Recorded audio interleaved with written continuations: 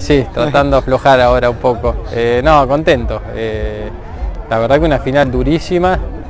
Parecía en un momento que la íbamos a controlar bien y, después tuvimos un cuarto chaque muy malo y se nos emparejó. Eh, la verdad la podíamos haber perdido tranquilamente. Sí, ellos levantaron, pero creo que nosotros tuvimos nuestra oportunidad para cerrarlo antes al partido y no lo hicimos y por eso creo que tuvimos primero una de Yuri terminando el quinto para entrar por cuatro al último que de ahí nos meten gol de otro lado y entramos por dos.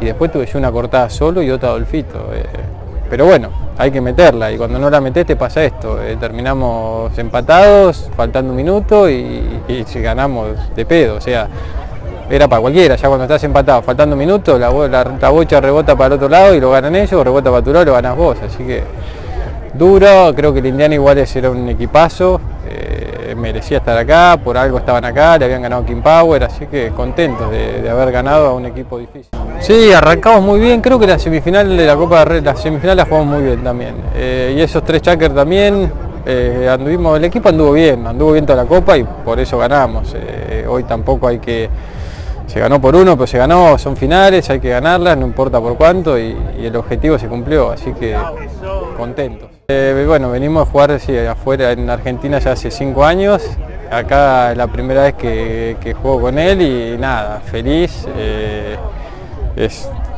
mucho mejor tenerlo compañero que contrario, además más un jugar en, esta organización como es Dubai, que me parece que, lejos es la mejor de Inglaterra, hace años que está, eh, es tremenda la organización de caballos, de caballeriza, de todo, te la hacen pasar bien adentro y afuera de la cancha y creo que por eso son, se le dan los resultados también.